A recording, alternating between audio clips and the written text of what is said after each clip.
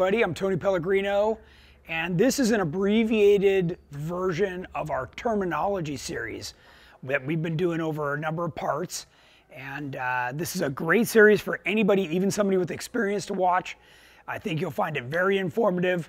We're going to cover a lot of terminology. So if anybody's been talking over your head or saying terms that you don't understand, we're going to clarify all that, and by the end of this, you too can be an expert when it comes to talking about Jeeps. All right. We left off at uh, scrub radius the last time we talked. So to further along from scrub radius, we're going to talk about axle width. So it's important that you understand that the axle that came on your Jeep with the little tires was much more narrow than what you'd install as an aftermarket axle because you're going to have a lot more articulation. The stock suspension only has about three or four inches of wheel travel, and your new suspension will have 14 inches of wheel travel. So to do that, you have to have a much bigger range where things are a little bit further out, and we're gonna talk a little bit more about that right now.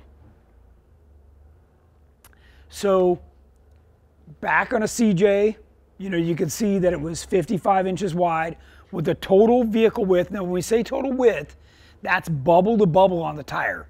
So, um, you know, from the passenger side to the driver's side, the total width of the vehicle.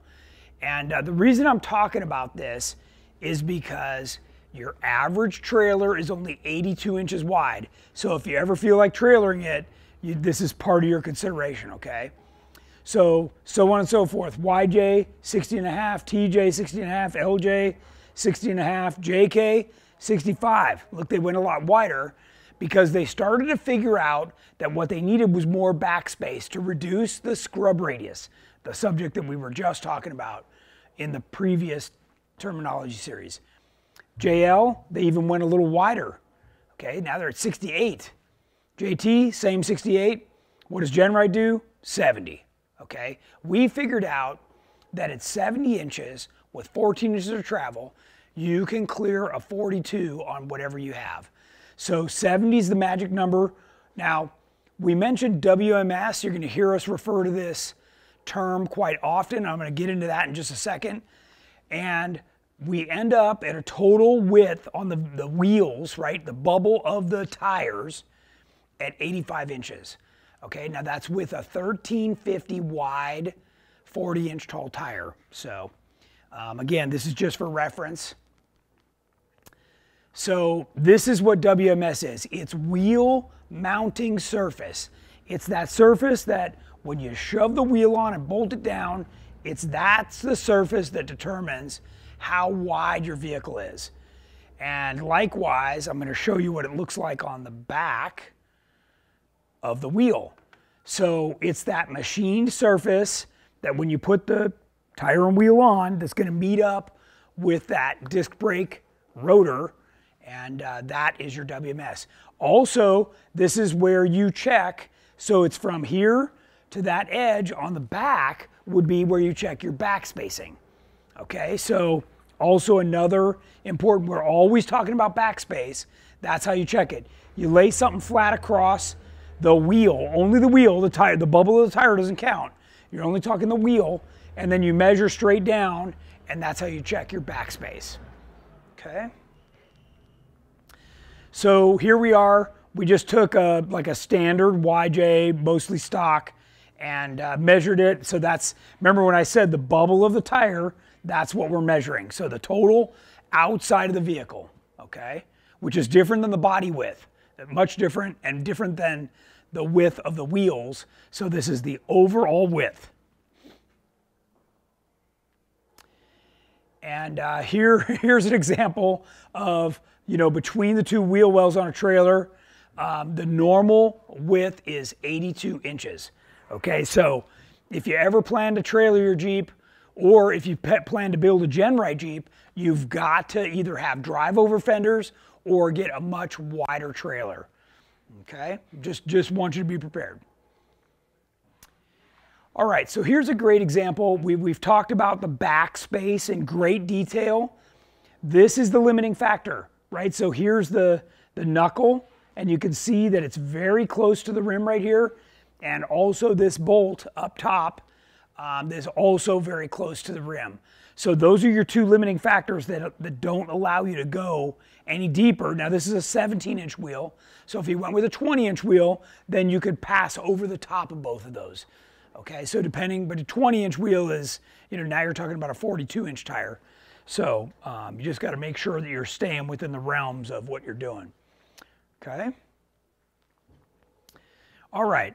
the next topic that I want to cover is here's a standard ball joint style and a kingpin style. You can see that the C on the axle side looks quite different and uh, the way that they mount is quite different.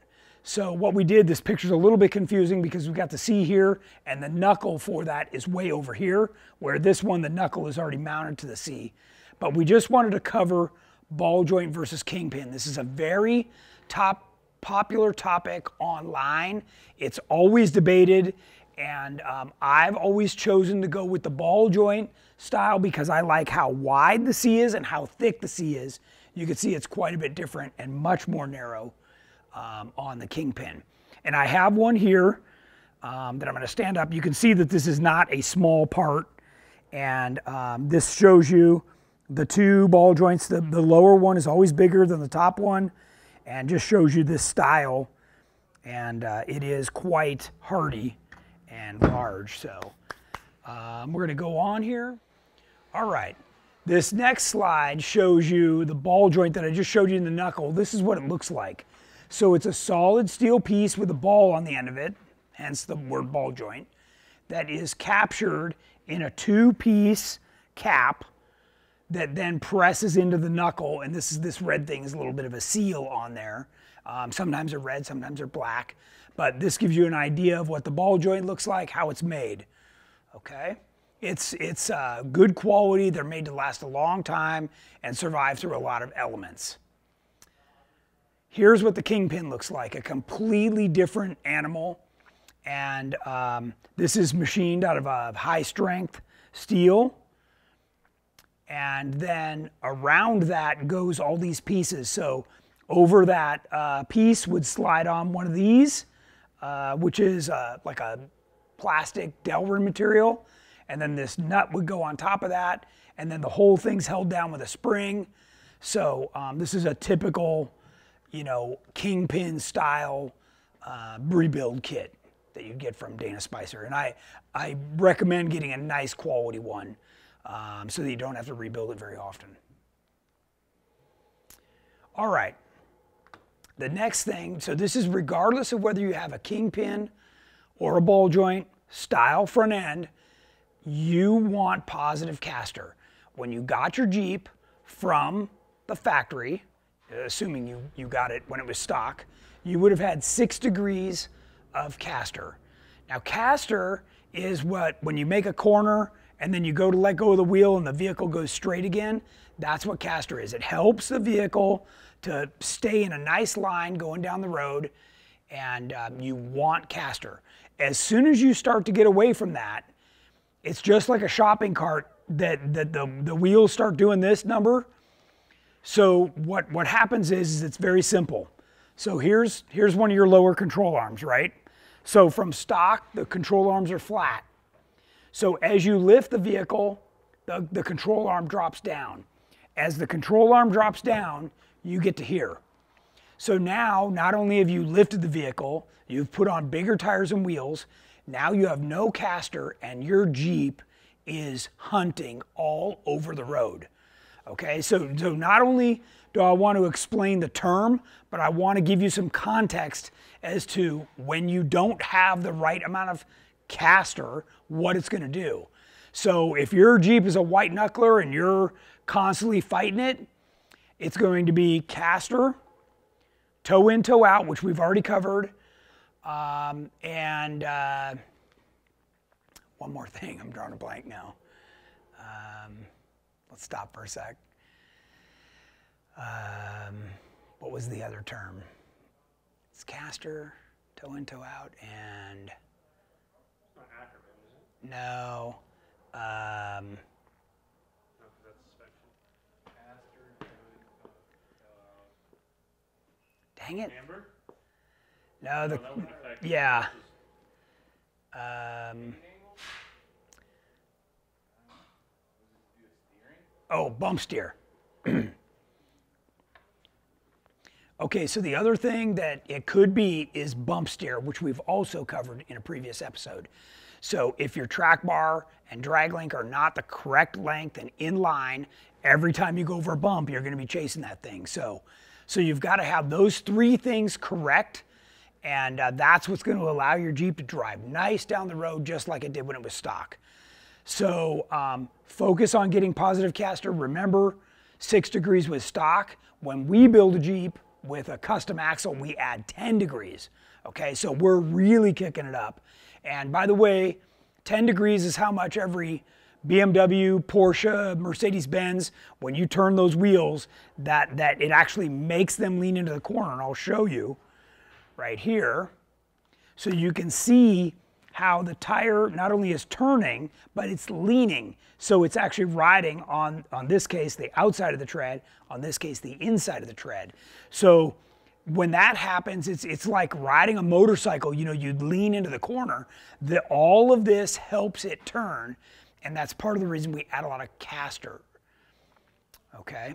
So Again, this would be the same way a Mercedes. Next time you're around one of those, you know, Mercedes, BMW, or Porsche, watch somebody pulling out of the parking lot and you're going to see those tires leaning over as they turn. It makes a huge difference in the handling characteristics of the vehicle on and off road. Okay. All right. So here's a quick way to check. If you stick your head inside the fender well on your Jeep and look straight down at the ball joints, you can see here's the, the lower part of the C. Now you can't see the other ball joint because the axle shaft is in the way, but you could tell it would be right about here, right? So this tells you you have a positive amount of caster. This, this is about five or six degrees of caster right there. Now, if it's leaned further back where you can see the entire ball joint, that's how we set them up and that's 10 degrees, okay? So this is just a simple check if your vehicle is really squirrely and you look underneath and you can't see the other one, you got no caster and that's why it's squirrely. All right, so here's one of ours.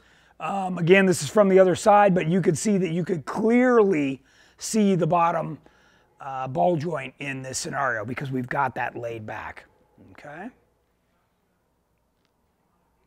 All right, that's the end of this episode on terminology. Um, hopefully, this is very helpful to you, and we're uh, explaining and dispelling all of the contradictory things you've heard. All of these things are very important on your Jeep, and uh, if you're able to apply them all, it's going to make a huge difference in the way your Jeep handles.